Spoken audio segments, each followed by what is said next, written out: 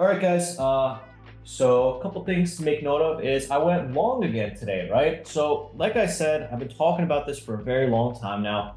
One of my biggest regrets during the 2020 and 2021 bull market was that it was so easy to go long and people made millions of dollars, if not tens of millions of dollars going long, right? I did very well going short, but I really missed out on a lot of easy money opportunities. And as I approach my 10 year anniversary in trading next month, I'm really trying to adapt. I'm really trying to get better and I'm really trying to just level up my trading, right? Because I'm, I consider myself a pretty good short seller.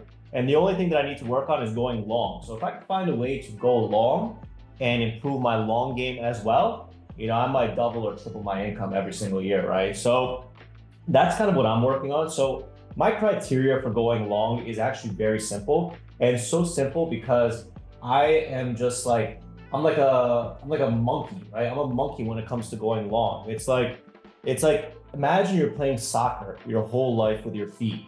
And all of a sudden you gotta start playing basketball. Yeah, they're both a sport. They both use a ball, but it's a totally different game, right? So when I'm trying to go long, I'm trying to go long when it's so easy that a monkey could do it, right? Because I'm a monkey.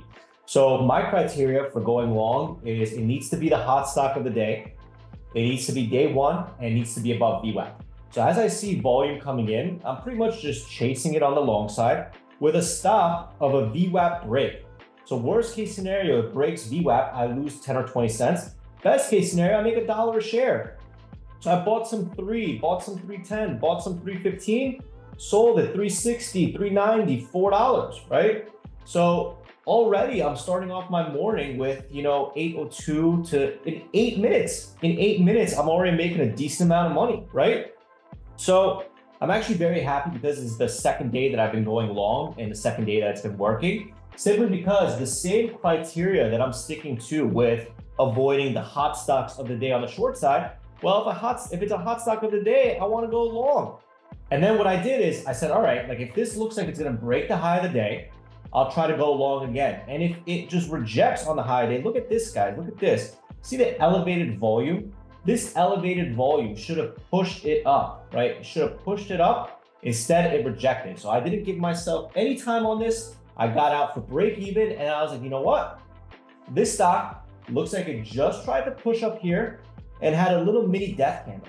So I shorted that death candle around like 360 and I just got out a half around 327. Another 33 cents a share, right? So already I'm starting off the morning with a win on the long side and a win on the short side. And this is what I want to do, guys. Coming into this new year, I want to improve my long game. Pre-market is the best time to go long these stocks. And once the backside is in, once the reversal is in, I'm going to capitalize on the short as well. So think about it, guys. Think about it. If I'm making one, two, three million dollars a year shorting, what the f- stopping me from making one, two, three million dollars longing as well? Making five, six million a year, right? So that's my goal, guys. My goal is just to try to improve my long game because you can see in eight minutes, I crushed this. So coming into today, guys, coming into today, it's the same thing as usual, right? I'm gonna look at the watch list, I'm gonna build the watch list, I'm gonna trade the watch list, and I'm gonna take it from there. And as for this BKYI, this was just a simple uh, short into the whole dollar mark and adding when the support broke. So I drew a little support line here at the low of this candle, which is 276. So as soon as that support broke, I added some more. And remember the half dollar mark, 250 is usually where I'm looking for whole and half dollar marks to trim some. So I trimmed some and now hopefully if it bounces again, I'm gonna get another short on it. So starting off the morning, it's still pre-market, it's 9.09 a.m. and I'm already up a significant amount of money, right?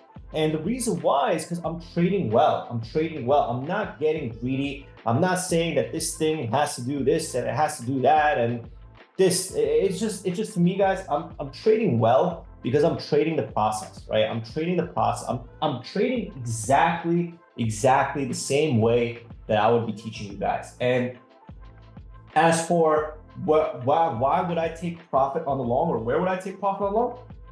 Think about it, guys. Same thing half dollar mark, half dollar, whole and half dollar marks. The half dollar mark 350 and the whole dollar mark 4. The inverse of what I'm doing shorting. Instead of shorting at the whole and half dollar marks, I'm covering at the whole and half dollar marks.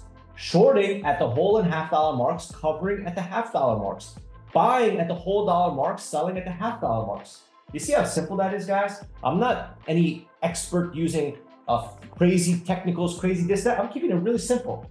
Buy and sell using the whole and half dollar marks. So coming into today, guys, nailed the long on SPEC, nailed the short on SPEC, and I'm waiting for this thing to bounce so I can short this again. And now, if it bounces, right, if it bounces, I already have realized gains as a cushion in case things kind of go wrong, right? So anyway, let's fill the watches, guys. So yesterday's P&L, guys, yesterday I made $8,600. Let me show you guys a screenshot in case you missed it. So yesterday went long and went short and made $8,600.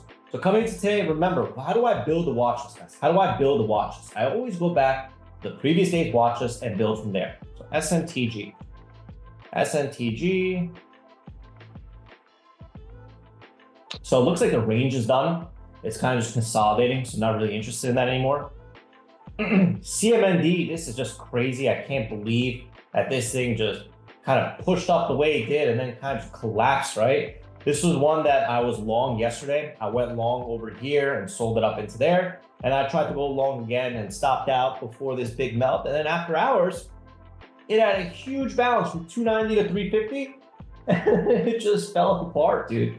It fell apart. So this is a very, very, very beaten down stock. And I'll probably just ignore this unless it's kind of going towards that 283, 320 mark. So CMND, extremely beaten down now. Also, you see guys how I don't get greedy and I'm like, it's not going to go to three. It's not going to go to three. I'm just taking my profits and then I'll reset it. Um, extremely beaten down. Looking for a major bounce toward 280, 3, 320 in the morning to shorts. Okay. LAES, LAES did a major trap. It dipped and then reclaimed all the way back. So I'm not really interested. LAES dip and reclaim yesterday major trappy stock, it looks like. So we'll be ignoring the short. NVNI pretty much nailed this yesterday into this short. So short of that high up there. Uh, not really interested unless it gets back up to that $3 mark. Um, so NVNI, ideally a large bounce toward $3 shorts. And Mara, Mara, as you guys know, the Bitcoin ETF just came out yesterday. It kind of looked like a sell the news scenario until they re reclaimed it. I just think that there's not really much edge anymore. So Mara, no edge on this anymore. So likely ignoring short. Now we move to the stocks that are moving today. So SPEC, SPEC went long this morning sold it around four, and now flipped short. Looking for a bounce into VWAP to scale in short this morning. Okay. MLEC, same thing, looking for a bounce towards three to short or VWAP. And BKYI, um, pretty much just looking for a nail and bail short if we could get it. Uh, BKYI, looking for a nail and bail short for 280, 3, 320 with a 340 stop. That's it for me, guys. Calling it a $15,200 day today. January 11, 15,270, 30. So far up 23 grand this month. And it's only been two, three days that's it from me, guys. What, what, what more can I do here, right? What more can I do? Call it a day here. $15,000 day. Went long, went short. So another day of sticking to the process, another day of the MIC process working in, you know, 15, 20 minutes. And that's pretty much it.